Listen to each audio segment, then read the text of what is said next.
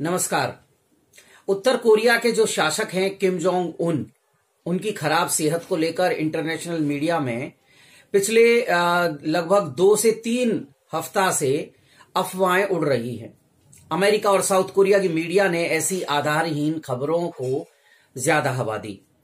अमेरिकी मीडिया की रिपोर्ट्स के मुताबिक कार्डियोवास्कुलर सर्जरी के बाद किम जोंग की तबीयत काफ़ी ज़्यादा बिगड़ गई थी। किम जोंग की सेहत पर फैली अफवाहों के बीच दक्षिणी कोरिया के जो मिनिस्टर हैं, किम योन चुल, उनका बयान आया है। उन्होंने कहा कि किम जोंग 15 फरवरी को अपने दादाजी और उत्तर कोरिया के फाउंडर के जन्मोत्सव पर नज़र नहीं आए थे। ऐसे में उन्हें बीमार मान लेना सही नहीं है। शायद उन्होंने दुनिया भर में तेज़ी से फैलते कोरोना वायरस की वजह से खुद को अलग कर लिया था। किम येन ने कहा कि उत्तर कोरिया ने अपने यहाँ कोरोना वायरस का एक भी पॉजिटिव केस होने से इनकार किया है। देश में कोरोना वायरस को लेकर कई सख्त कदम उठाए गए हैं।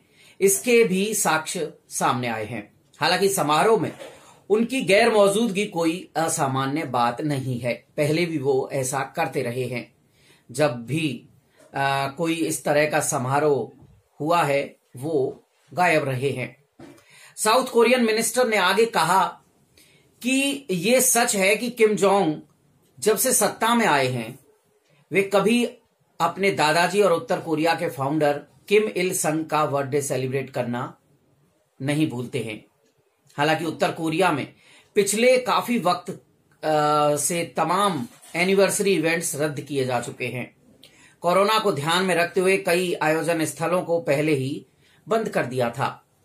किम योन ने अपने बयान में कहा कि इस साल जनवरी के बाद से लगभग दो बार ऐसा हुआ है जब किम जोंग उन करीब 20 दिनों के लिए अचानक गायब हुए। उन्होंने कहा कि कोरोना वायरस को देखते हुए उनका यूँ अचानक गायब होना कोई नई बात नहीं है। इससे पहले दक्षिणी कोरिया के राष्ट्रपति भवन, यानी ब्लू हाउस ने भी रॉयटर्स के हवाले से बताया था कि 36 साल के किम जोंग के स्वास्थ्य को लेकर उत्तर कोरिया से कोई असामान्य संकेत नहीं मिला है।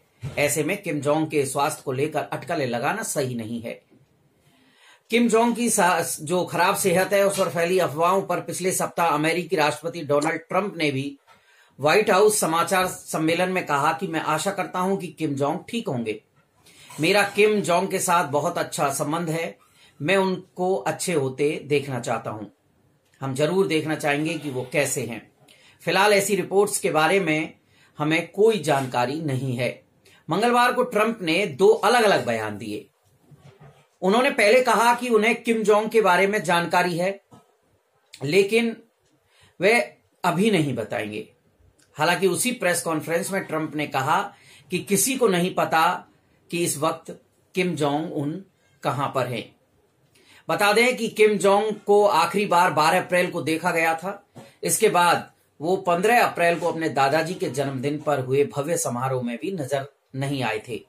इस पूरे उत्तर कोरिया में, इस दिन पूरे उत्तर कोरिया में बड़ा जश्न मनाया जाता है।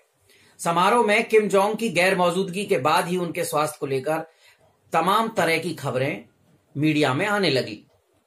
उत्तर कोरिया में जब भी किसी बड़े समारोह में किसी नेता की गैर मौजूदगी होती है तो उसके बाद कोई बड़ा घटनाक्रम देखने को मिलता है। तकरीबन 12 साल पहले किम जोंग के पिता जोंग इन के समय में भी ऐसी घटनाएँ देखी जा चुकी हैं।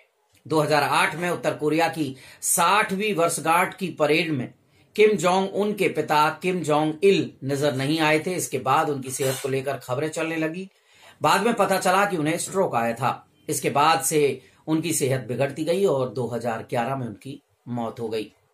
तो ये था अब तक का ताज़ा अपडेट। और अपडेट्स के लिए आप देखते रहिए खबर स्टेशन।